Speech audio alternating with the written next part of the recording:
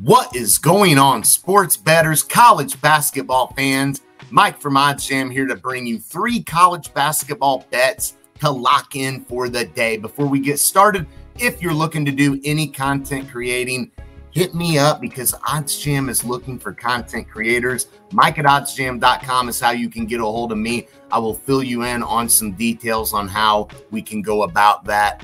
Great opportunity. Hit me up. But I know what y'all are here for.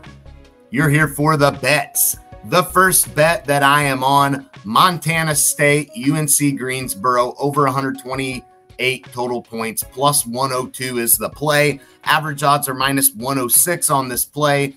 Pinnacle and DraftKings both favoring this side to hit. So getting it at plus odds is amazing when you consider that a couple of uh, books are favoring it. One being the sharpest book, Pinnacle, favoring this side. So that's pretty good. Uh, evidently, DraftKings is pretty sharp on this play. So um, they're not too far off from Pinnacle in terms of their price. So I, I like this play for value reasons. I'm going to hit that for the recommended bet size. The next bet that I'm on, Prairie View A&M versus Arkansas State. That's right. Y'all had no idea there was a bet in this big matchup, did you? Over 137 and a half total points plus 102 average odds are minus 109 you look across the board everywhere pricing this play evenly or or favoring the side that we're on to hit.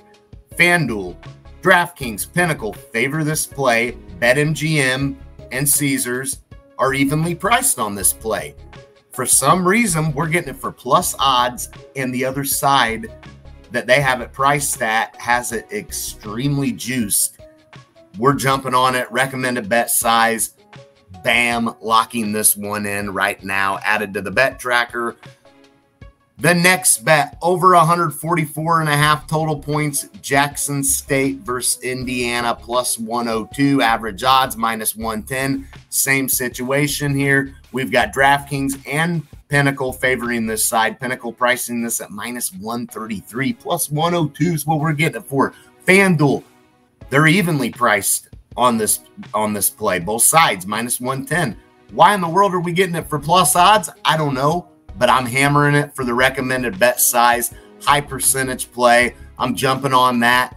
And those are going to be the three bets that I've got now in this same matchup that I just showed you all. There is actually a play for the over 144 total points as well. So we could butterfly that if we wanted to over 144 and over 144 and a half. It would probably be better to take the over 144 as I'm going to show you all here real quick to see if it's even out there. Maybe it's gone. Maybe it is gone. It is gone. So there you go. Does not matter. That play is gone, but they did have a play for the over 144. Probably should have jumped on that one as well, to be honest, but that's okay. Those are going to be the three bets going to my bet tracker to show y'all one last time. Over 144 and a half total points, Jackson State, Indiana, plus 102 on Barstool or Bet Rivers. Over 137 and a half total points, Prairie View, A&M, and Arkansas State, plus 102 on Barstool or Bet Rivers.